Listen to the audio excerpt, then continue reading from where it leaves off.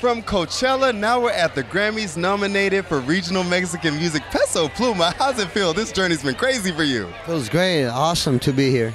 And the, by the way, the glasses look amazing. I love those. Thank you, So thank tell me you. about the styles tonight. What, how'd you put it together? What inspired the look? It's Louis Vuitton, you know, new Pharrell collection.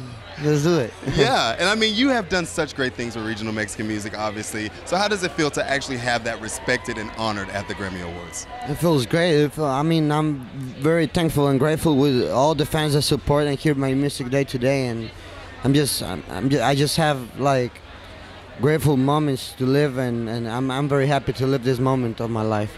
And you're joining um, Maluma and Alejandro in Chicago for the third time ever an all Latino festival, Latin music, excuse me, festival. So how is that going to be? It's gonna be awesome. We we hope we hope we get a good time in Chicago, and we're gonna rock it there.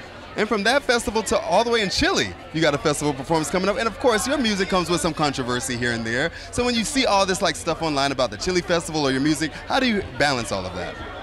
I mean, there's a lot of work this year, and but but we we knew it last year that this year it, was gonna blow up, and we are just keep keep grinding, and working every everywhere we can go, and representing our flag and our country.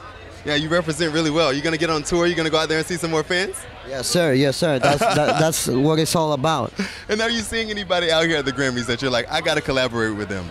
What's going on? Who have you seen? I'm very happy to live my first Grammy with my beautiful girlfriend Nicki Nicole. She's Nicki waiting there is right here. now. Nicki, can you at least come in? He's shouting you out. He's shouting you out. Come on down. Aplaudan a la reina. You look amazing, by the way. So how is it to be out here supporting Peso tonight? Que ¿Cómo está para este para apoyarme? Que- ¿Puedo responder en español? Eh, la verdad que estoy muy orgullosa de que haya ganado, se lo merecía muchísimo y me encanta poder acompañarlo hoy acá. And I'm trying to pick up a little bit of it, but you know what? The people at home, they got it.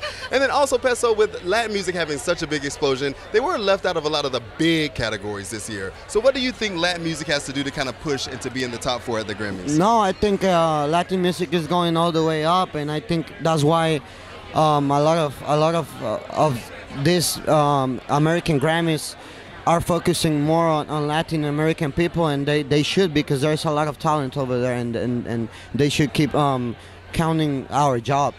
Oh, I mean, you're so right, and you're right at the front runner. So thank you for everything you do with Latin music, and you guys have a good time tonight. I'm Thank so proud you. of you, man. Thank you. Of course.